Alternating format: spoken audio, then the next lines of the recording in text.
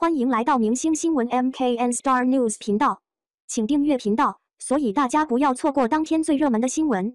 我们今天的时事通讯包括以下内容：GQ 红毯，迪丽热巴、何穗超惊艳，杨颖被赞美貌鼻祖，杨天真失策。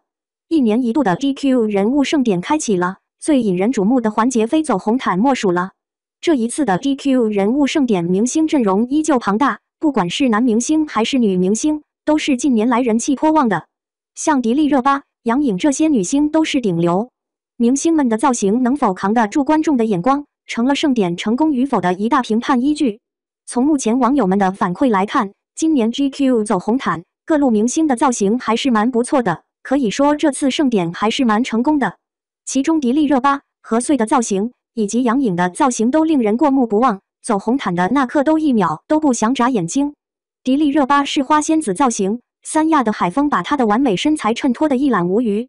热巴手中拿着粉红色的泡泡机，真的显得非常有高级感，还不忘比划出各种可爱的拍照动作。她一边走一边眼神扫视着周围，嘴角轻扬，气场全开，气质让人沉醉。何穗美人鱼造型，不管是气质还是身材，只能说不愧是超模，真的是太美美了，实在是有点词穷来形容了，只能说妥妥的人鱼公主了。当然，走红毯从未失手的杨颖，此次在 GQ 走红毯时也是大放光彩，一边挥舞魔法棒，一边走红毯，真的太绝了。相比以前红毯呈现柔美的一面，这次杨颖呈现了比较狠的一面，对脸眼神又增添了几分魅力。这几位顶流的造型都蛮不错的，观众的口碑一致好评，认为演绎出了他们应有的风采。不过，也有一些明星造型失策的，比如关晓彤和杨天真。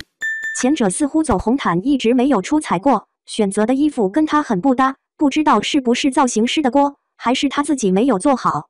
而后者则是因为三亚的风太大了。杨天真作为娱乐圈红人经济，人脉资源非常不错，他参加这样的红毯，并不是因为完美身材，而是江湖地位吧。